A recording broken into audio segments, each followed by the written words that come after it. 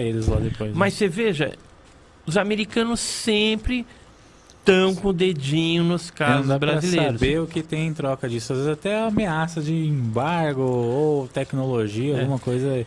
Isso a gente vai demorar muito pra saber. Isso é né? um caso velho. Agora você quer ver um, um caso que ficou famoso? Ah, o- a própria Operação Prato. Esse caso é muito louco. A Operação Prato foi investigada pelo primeiro Comando Aéreo do Pará, tudo. Eles fizeram fotos na época, né? O capitão Irangeolando, o Esse é sargento um dos mais Flávio. famosos. que Esse é um Brasil, dos né? mais famosos. Teve vídeos também, Super 8. E existe uma infinidade de documentos, né? Os objetos pousavam também, deixavam Nossa, marcas de pouso, né? pode mostrar aqui, ó. Deixavam marcas de pouso. Inclusive, eu vou perguntar de um caso que teve pouso também, daqui a pouquinho. Ah, é legal. É.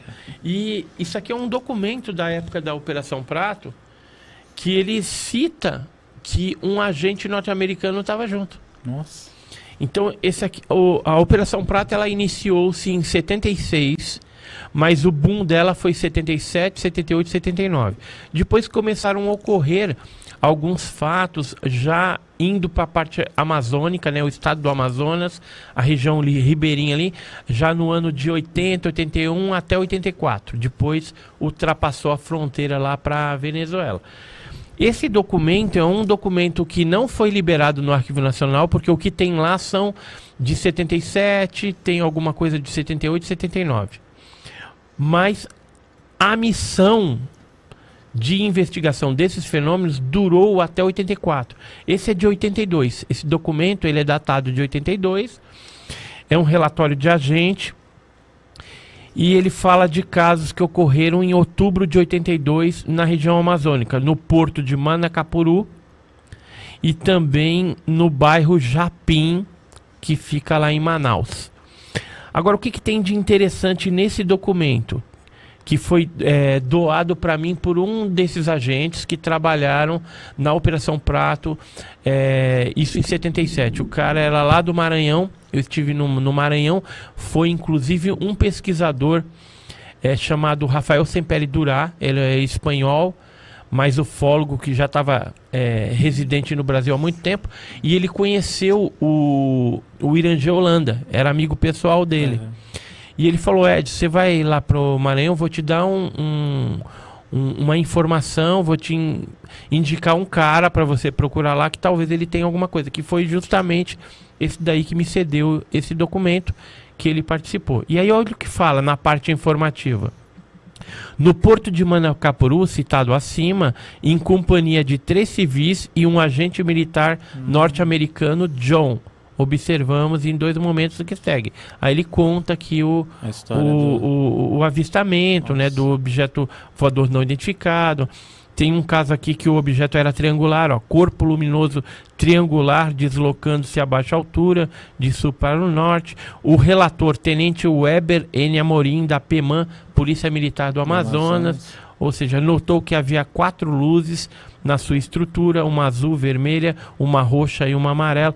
Então, assim, existem documentos que mostram que os americanos estão sempre, Estão sempre infiltrados circulando, né? e circulando. Nossa. Operação Prato foi um exemplo. Outro caso famoso é o caso da noite oficial dos OVNIs. Já ouviu falar? Sim, nossa, essa daí é... que a Força Aérea Brasileira perseguiu mais de 20 objetos voadores não identificados que estavam saturando os sistemas de radares e invadiram o espaço aéreo é, literalmente. Pegou vários estados esse, né? Teve desde São José dos Campos até... São veio- Paulo, Rio de pô, Janeiro, de Goiás, tudo. Goiás, Minas, Bahia. Vixe, teve muito, muito caso. No sul do país, teve dois desses objetos que chegaram, inclusive, a ir para o Uruguai. Nossa senhora. É, eu conversei algum tempo atrás com Ariel Sanches, que é um, um coronel da Força Aérea Uruguaia, e ele disse que pediu na época informações para a aeronáutica brasileira é, para entender o que, que era aquilo que tinha invadido o espaço aéreo, já que tinha outros objetos Aham. é, dentro do, do território No nacional. Mas dois né? ultrapassaram a fronteira e foram para o Uruguai. E eles, Caramba. como têm uma, uma comissão é, investigadora e receptora de é, assuntos re, re, referente a OVNI lá no Uruguai. Então eles queriam saber mais, até para estudar e É. ver o que, que aconteceu.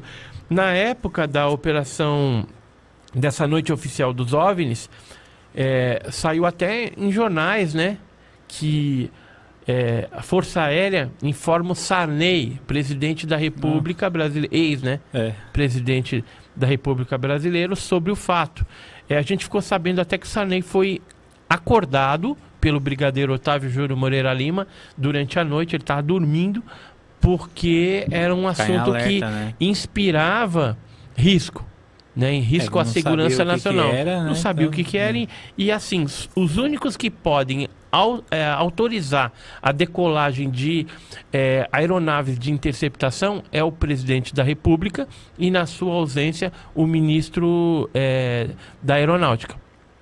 Como o presidente estava no país, tal, então Ele teve que ser acionado. falou. Todos os presidentes eh, brasileiros, eles são contextualizados a respeito desse fenômeno. Só que dentro de uma amplitude mais rasa. Aham. Não é fornecido tantas informações tão profundas do fenômeno para um presidente da República, até por questão de, de não vazar isso daí, né?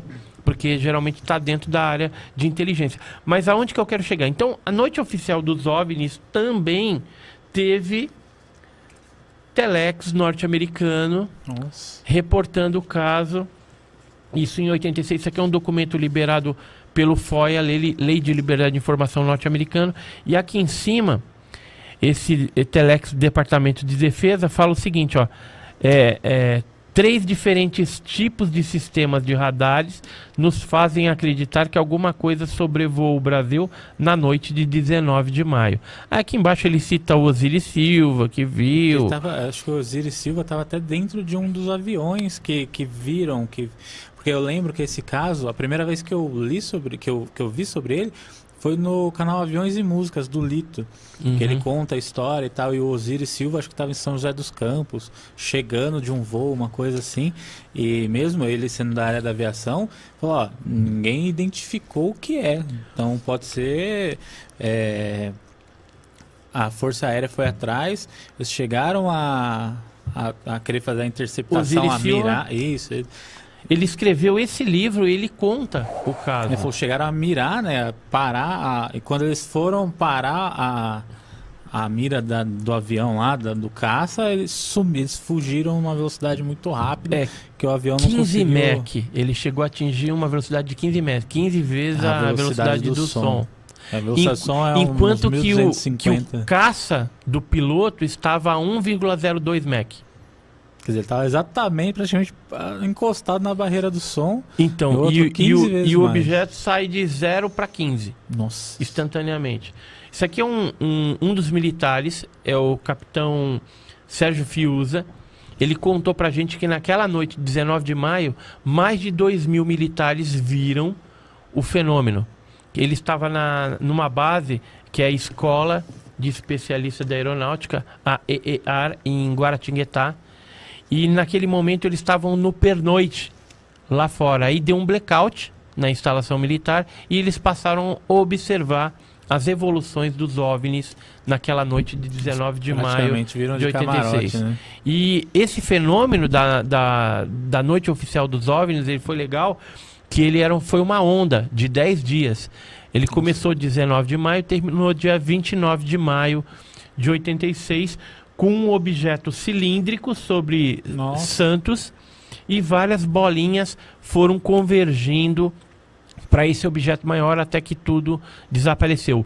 É, nessa noite de 29 de maio, 10 dias depois, o próprio sargento é, Sérgio Mota é, observou novamente o fenômeno, comunicou a- a- ao pessoal é, responsável é, em Brasília, em São Paulo, e eles já estavam sabendo do que estava acontecendo, mas resolveram não decolar as, as aeronaves de interceptação, porque na primeira decolagem não foi, não, não obteve nenhum sucesso e ia só gastar combustível e não ia acontecer nada. Então ficou por isso mesmo. Então, quer dizer, se eles resolvessem atacar a gente nessa última aí, os aviões iam estar no chão. Fala, ah, arrebenta tudo aí. E aí no final eles foram para esse, pra esse, pra esse objeto mais cilíndrico, mais. e foram embora. Nossa senhora. Então veja que americano sempre está É, enfiado e é curioso nessas que às coisas. vezes, não sei se é exatamente, mas às vezes é mais fácil conseguir informação do- dos americanos do que do, do, do exército brasileiro aqui. Ó, esse aqui é o, o relatório oficial da aeronáutica sobre a noite oficial dos OVNIs. É um, um dos, né? Porque existem vários documentos. Esse aí foi já o resumido, já Esse o, aqui é o aberto compilado. ou- É aberto. Ah, Esse é aberto. nossa, então. A gente tem muita coisa que é vazada, né? Que o, o termo, quando você é, é, consegue descobrir algum documento que é confidencial, ou ultra secreto, secreto, ou reservado, que não veio a público ainda, aí a gente chama de documento comprometido. A- a- o termo técnico dos militares é documento comprometido. Então, um- com- comprometeu aquela informação porque vazou. É, Dá um foco aqui pra nós, ô, ô Campos. Aqui, ó. Também é outro relatório que deve ter umas, esse daqui é o resumido, deve ter umas 10, 15 páginas também, né? É, tem, tem outros anexos que mostram o depoimento dos pilotos, o que, que eles viram, o que, que acharam, não sei o que. Então tem, tem as fitas dos áudios é, no momento da perseguição. Então o piloto conversando com o anjo dele, que era o, o controlador, né? Que Aham. tá monitorando ali, inclusive, a gasolina dele para ele voltar. Sempre tem alguém que é o Tá seu contato em solo e está monitorando toda, toda a perseguição. E aí, essas comunicações em áudio que foram gravadas foram liberadas também no Arquivo Nacional. Só que naquela época que foi liberado, é, o Arquivo Nacional estava querendo cobrar. Então, se você quisesse é, um minuto, você ia pagar uma fortuna por um minuto. Só que eram vários é, material, áudios, né? é muito material. Então você ia gastar ali alguns milhares de reais para ter a fita na íntegra.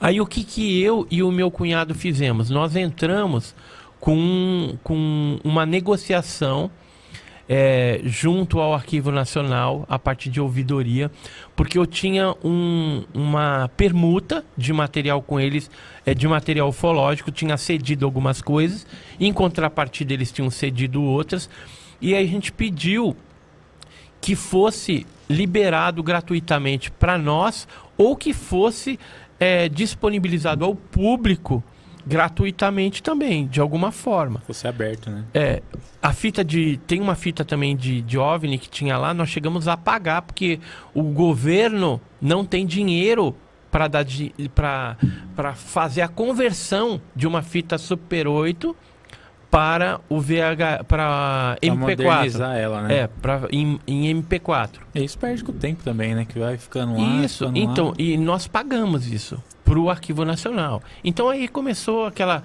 negociação, demorou mais de um ano até que eles toparam e aí foi feito toda a conversão e disponibilizado gratuitamente para todo mundo. Então foi um, um, um, um- um sucesso que nós obtivemos nessa negociação e hoje as pessoas que têm esses áudios aí é graças a essa negociação que eu e o Joseph Prado fizemos é, junto ao Arquivo Nacional em prol da, da, da ufologia brasileira. Da Né? Então foi, né?